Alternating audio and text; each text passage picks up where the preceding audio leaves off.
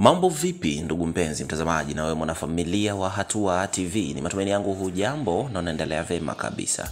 Karibu katika mwendelezo na mkusanyiko wa habari, burudani na matukio mbalimbali. Naam, hii ni Hatua TV, sehemu yako sahihi kabisa na murwa ya wewe kupata habari, burudani na matukio mbalimbali mbali. Hakuna kitu kigumu zaidi pindi ambapo unaona watu wanakuzungumzia, watu wanakuwekea uh, maneno ama watu wanaweka picha zako sehemu yoyote ile bila ya wewe kuhusishwa ama kutofahamu watu wanapopandwa na uh, mshangao na wewe unakuwa unashangaa.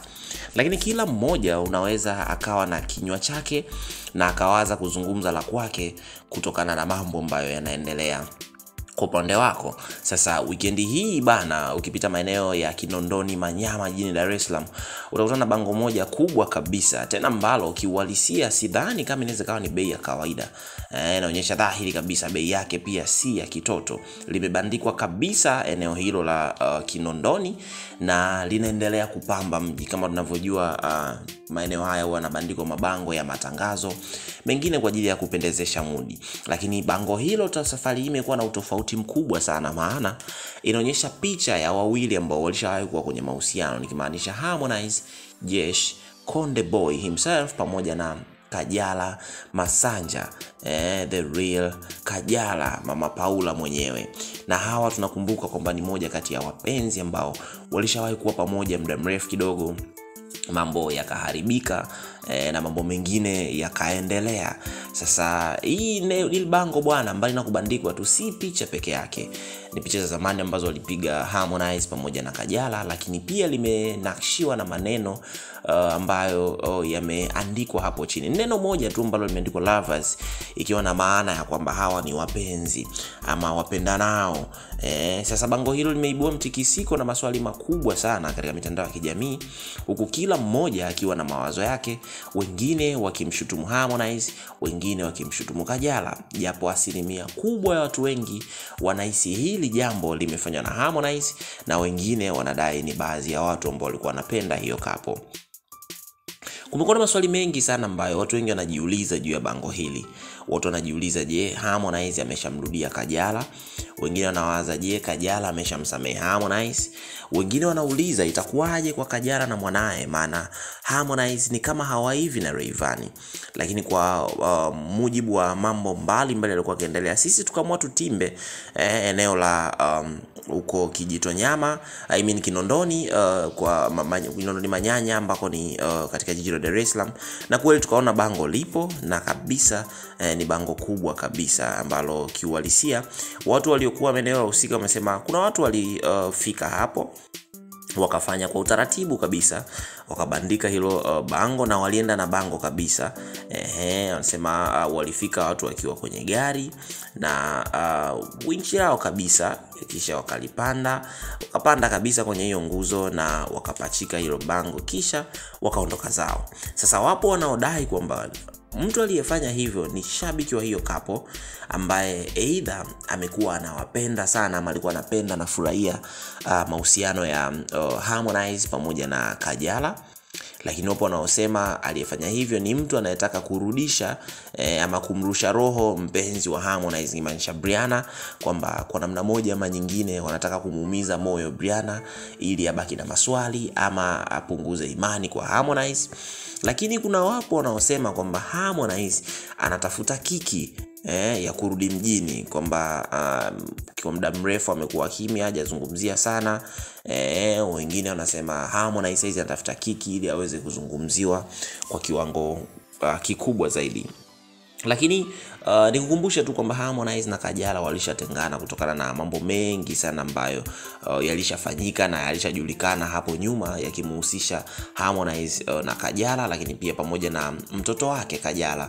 Um, namaanisha paula. Sasa harmonize kaona hili jambo si la kulinyamazia muda um, wote uh, wala si la kulikalia kimya hivi uh, kama lilivyo. Tunakumbuka kipindi cha hivi karibuni harmonize amekuwa busy sana gym anatengeneza mwili uh, anarekebisha body structure yake na staff kama hizo. Lakini pia amefocus zaidi kwenye mazoezi kwa sababu tunafahamu msanii bila zoezi unaweza ikafikia hatua uh, ukaanguka stejini kabisa aidha kwa kuishiwa pumzi ama kwa kuwa dhaifu wakati wa performance. Sasa alichokifanya yeye sahizi kaonyesha dhahiri kwamba hana muda wa kuwapa nafasi watu wanaozungumza mambo mengi sana. Hana muda wa kuwapa nafasi watu ambao wanafanya mambo bila ya kumuhusisha na hana muda kuhusiana na hiyo uh, post. Yeye yuko bize sahizi unamwona yuko bize gym yuko bize kushea kazi za wasanii wake. Tumeona kashea shulala ambayo ni bonge moja la ngoma ya angela lakini bado kashea ndoa uh, ya achidi na bado tena uh, anaendelea kushare baadhi ya ngoma zake za nyuma ambazo zilifanya vizuri kabisa. Amekuja kutuonyesha mafanikio makubwa uh, yaliyofanyika kwa uh, mwaka wangu uh, viewers wa kutosha zaidi ya milioni mbili milioni tano huko uh, lakini pia um, viewers wa bahresa ambao wanazidi kwenda mpaka saizi wako kwenye milioni tatu eh, na ni project zake mpya huku pia akiendelea kushukuru watu ni kwa namna gani ambavyo wamezidi kumsupport, lakini kubwa zaidi ni kuendelea kuwatia kuwatia moyo wale wafuasi wake.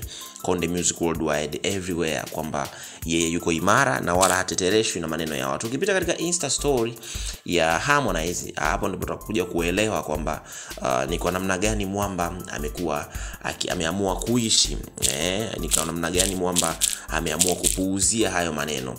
Kiuhalisia uh, konde boy mwenyewe picha yake ya mwisho ameposti akiwa uh, ndani amekaa kwenye piano moja kali kabisa eh, na ameandika kabisa cause I'm young and rich bad boy bahresa yes hii ni moja kati ya posti zake ambazo ameziweka akiamini kabisa hana muda na hayo yanayoendelea lakini pia uh, yuko bize ana focus kupromo uh, project yake mpya bahlesa moja kati ya project ambazo uh, wengi zimekuja kuzua maneno mengi sana uh, ya ukweli ya uongo humo humo lakini yeye mwenyewe ni miongoni mwa watu ambao walitoa uh, msimamo wake na alieleza ali, ali, wazi kabisa kwa nini aliamua kuitoa hiyo project lengo lake lilikuwa ni nini. Lakini pia siku hizi harmonize ni moja kati ya watu ambao wamebadilisha sana muonekano kwanza kabisa ukija kwenye uvaaji ni mtu ambaye anavaa kiofisi.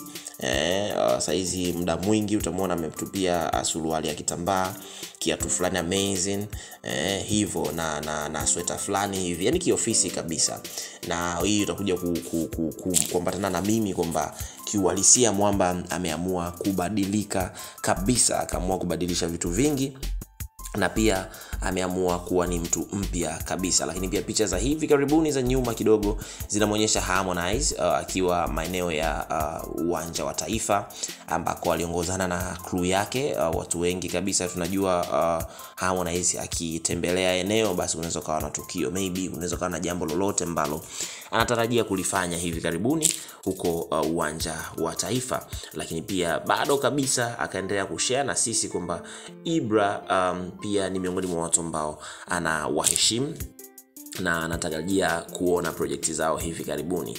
Na akasema family first na akawa ameongozana na uh, crew nzima ya ya ya konde music uh, worldwide. Yani hapa unamwona ukiangalia kuna security guards namwona chopa ambaye ni uh, manager wake lakini pia yeye mwenyewe harmonize.